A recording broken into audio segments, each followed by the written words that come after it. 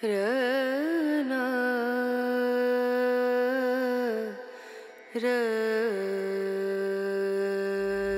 んにちは、粟田洋介です。昨日、江ノ電によって、このスケッチブックに絵を描いてきました。そしてその中の1枚をもとに、アクリル絵の具で絵を描いていこうと思います。今塗り始めているのが、その絵のバックグラウンドです。それから昨日描いた絵も少しずつ紹介させていただきたいと思います。そして実は8月に鎌倉で個展を開催します。個展のタイトルは空想と鎌倉なんですが、このシーズンに江ノ電さんの主催の水玉展っていうのと被ってやる予定になっております。なので今回は私が勝手に江ノ電に乗って絵を描いてきました。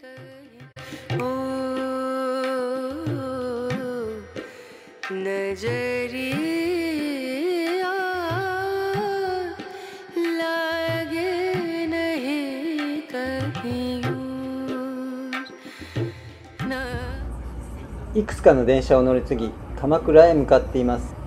右手に見えますのは大船観音です。もうすぐ鎌倉です。ということで鎌倉に到着しました。まずは切符を買います。のりおりくんという1日券を買いたいのですが切符売り場は人がいっぱいです。昨日は晴天で日差しがすごく強かったです。これが鎌倉のとんがり帽子の時計台ですね。切符売り場もまだ人がいっぱいだったのでこの辺で絵を描くことにしました。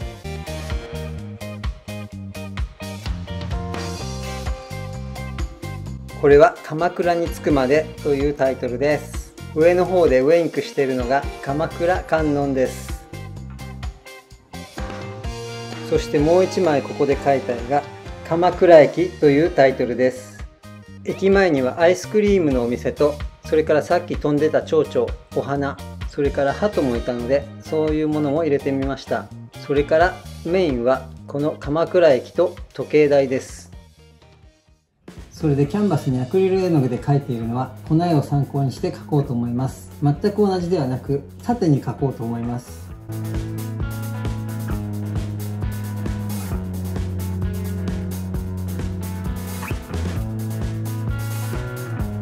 それでこのスケッチブックに描いた絵の中からいくつかをキャンバスに描いてそれらもその個展に展示しようと考えています。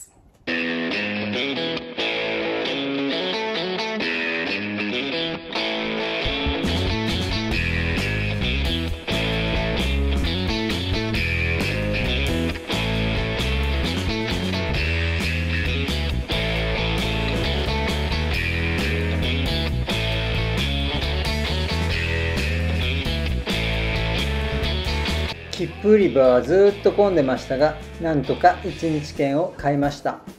電車が来るのを待つ10分間にこの絵を描いていました。タイトルは江ノ電を待つ鎌倉駅です。こんな絵を描いてるうちに電車が来ました。そして電車に乗って一駅和田塚駅に着きました。踏切を渡ってまっすぐ革と手作りのお店ガッシュさんにちょっと寄り道です。これは去年ガッシュさんの2階で開催された個展の写真です。そして今回もこのガッシュさんで個展を開催させていただきます。とても素敵な空間なのでちょっとお店に寄ってみたいと思います。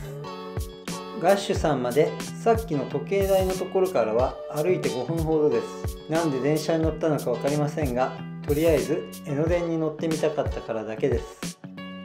なんだかいい感じの建物ですがアトリエ空の色と書いてあります。なんだか面白そうなところですね。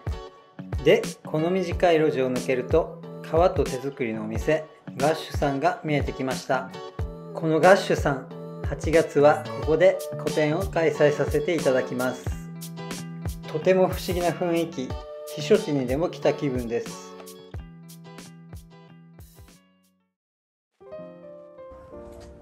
こんにちは。いらっしゃいます。拍手でございます。ことで、はい、あのこの水玉のバッグをご用意させていただいています。とても珍しい素敵ですね。一点物ですね。あすごい。斜め掛けでこれぐらいの感じになってマチもあって容量もあるので、はい、ペットボトルなんかも入りますよ。アフリカンバティックをこう使わせていただいたバッグ。これなかなか素敵なんですよね。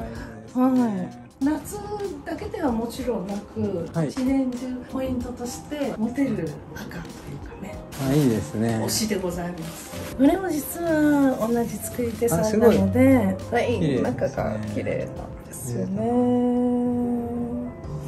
あれ面白いですね。あれはリュウグウの使い。リュウグウの使い。はい。ペンケースここにも同じ作家さんですか？そうですね。こちら野茂さんという作家さんですね。タイもいますね。パーティーバッグ 入るところは実はここのエラのところだけです、へパーティー。すごいお似合い。似合います。それはありがとうございます。先ほど気になっていたアトリエについて聞いてみました。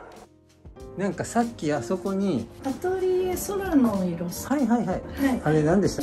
障害者さんが通ってこられる事業所で美術とかをメインの活動にされているところです。行くとアトリエになっていて、えー、そこで皆さん絵描いてたりすることが多いですかね。とっても自由に活動されてるっていうことは聞いています。あそうですか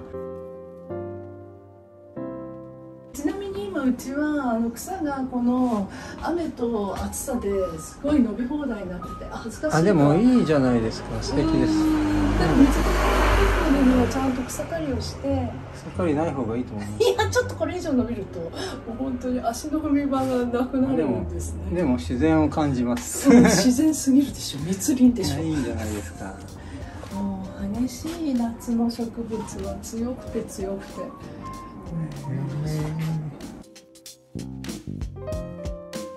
個展は8月の11日の金曜日から8月20日の日曜日まで10日間ですね開催させていただきます。よろしくお願いします。前日10日準備でございますのでお店はちょっと閉じさせていただく予定です。あお店の2階で買わせていただきますので、はい、よろしくお願いします、はい、すごい眺めも良くてねいいですね。そうですね。あののんびりできるのびのび空間なのでぜひ楽しみにいらしてください。あありがとうございました、はい、こちらこそありがとうございます。ということで駅で待ってる間にガッシュさんのお店を手にしてみました。そして電車が来ましたが今度はどこへ行こうかな。ということで極楽寺へやってきました。駅の周りはアジサイでいっぱいですそして階段があったので登ってみることにしました。お墓だ。とても神秘的な感じがしたのでここで絵を描きたかったのですが人様のお墓で失礼かもしれないと思いやめておきました。でもこのイメージは後で描きたいと思います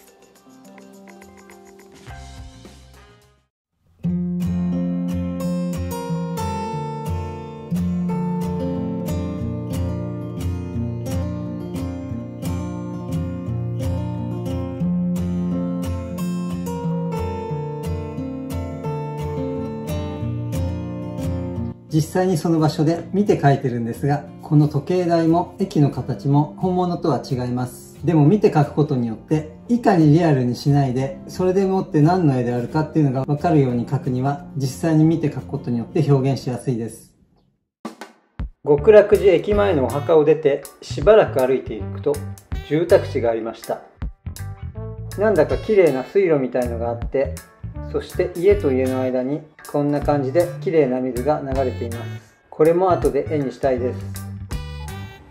落ち着いて絵が描けそうな場所を探してしばらく歩いているとなんだか静かで涼しい場所を見つけました。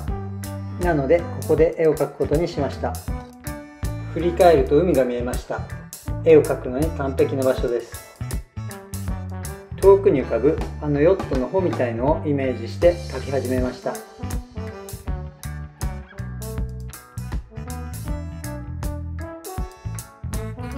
でこれが出来上がった絵です。タイトルは極楽寺の涼しいところです。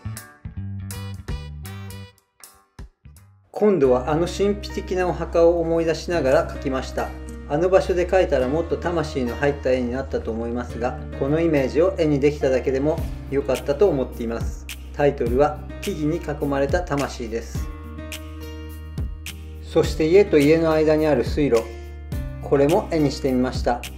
タイトルは水のある住宅地です。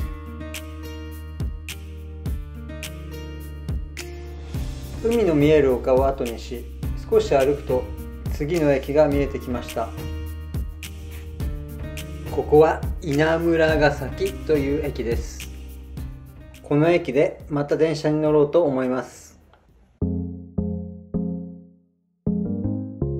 ちょっとここまで進んだんですが、なんかこの元の絵の良さが失われているような気がします。いかにリアルにならないように崩していくんですけど、悪い意味でリアルの要素が残っていて、なので続きはちょっと考えながら崩していきたいと思っています。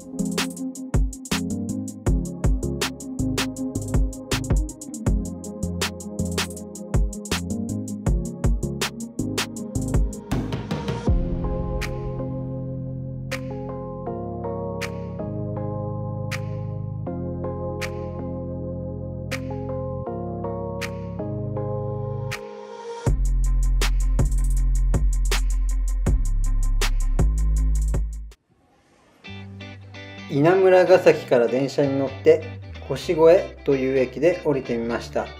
この川を下っていくと海です。ということでビーチにやってきました。ここで絵を描いていこうと思います。リアルではない作風なのにわざわざ実際の風景を見てスケッチするのは体感してこそ感じられるエネルギーを作品に表現できるからです。この臨場感は海に来なければ感じられません。そしてビーチでの1枚目はこれ。タイトルは「美女」です。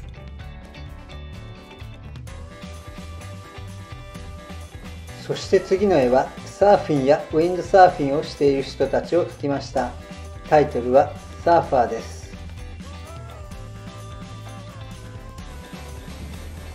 見たものを非リアルに表現していますが今度もそうです。タイトルは「遠くのヤシの木」です。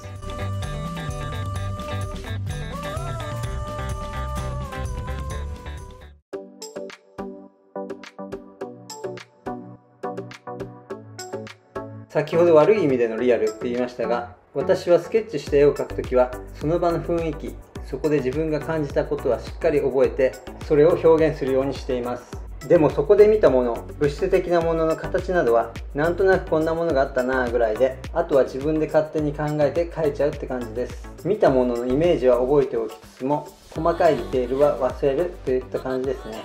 でもその時によってはその時の気分や雰囲気をわざと消したり変えたりして書くこともあります。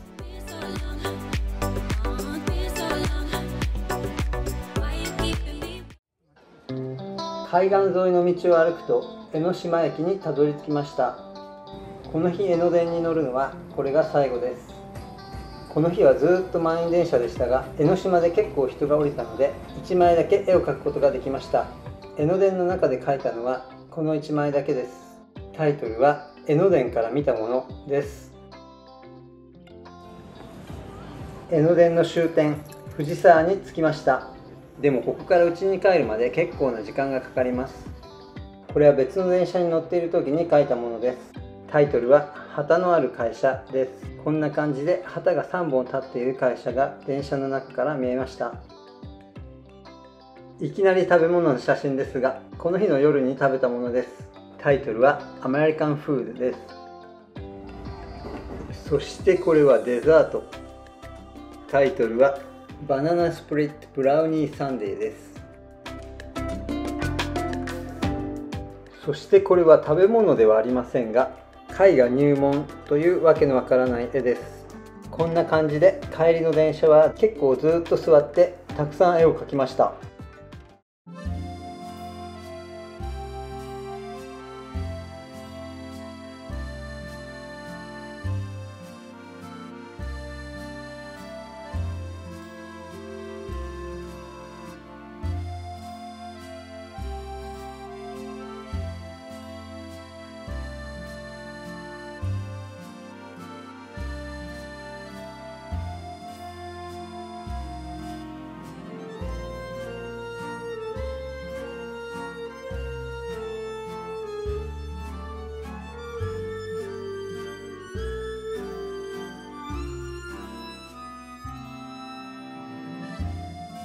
絵が完成しました。これは空想と鎌倉というタイトルです。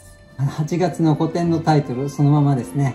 なんか最初この辺気に入らなかったんですけど、今はすごい気に入っています。実際の鎌倉駅、これ江ノ電の乗り場なんですけど、こういう感じじゃないし、なんかこの建物も間違えてるし、そういう位置関係とか形とかさっきも言ったんですが、そういうものをいかにリアルじゃなくするかっていうのをちょっと考えて描いてみました。帰りの電車で描いたあと6枚の絵です。これは2つの海があるプレートというタイトルです。この絵のタイトルは監視の目。電車が駅で止まった時に駅に監視カメラがあってなんとなく監視カメラみたいのを描いてこんな感じの絵になりましたこの絵のタイトルは「金魚の王様とひれ伏す皆の衆」ですこれが金魚の王様ででこれがひれ伏す皆の衆ですかね。この絵のタイトルは「お花のプレゼント」最初にお花みたいのを描いて最後にこんな風に締めくくったんですが特に意味のある絵ではありません。この絵のタイトルは手の絵です。これを描いている時に向かいの席の人たちがストーカーの話をしていてなんか手がいっぱいなんてストーカーっぽいななんて思いながら描いていましたが特に意味はありません。この絵のタイトルは長い帰り道本当に長い帰り道でしたがこれが最後の絵ですで、古典ではこういう鎌倉とか江ノ電周辺のこのスケッチブックを元にした絵を何点かの他にそうじゃない作品も展示する予定なので、もし興味がある方は鎌倉に遊びに来てください。古典の詳細は動画の概要欄をご参照ください。このチャンネルではアートの楽しさ、モチベーションやインスピレーションをシェアできたらと思い動画を作っております。よかったらチャンネル登録をよろしくお願いいたします。また、この動画が少しでも良かったと思った方は、いいねやチャンネル登録、コメントなどをいただけると励みになって嬉しいです。最後までご覧いただきありがとうございます。また次回お目にかかりましょう。さようなら。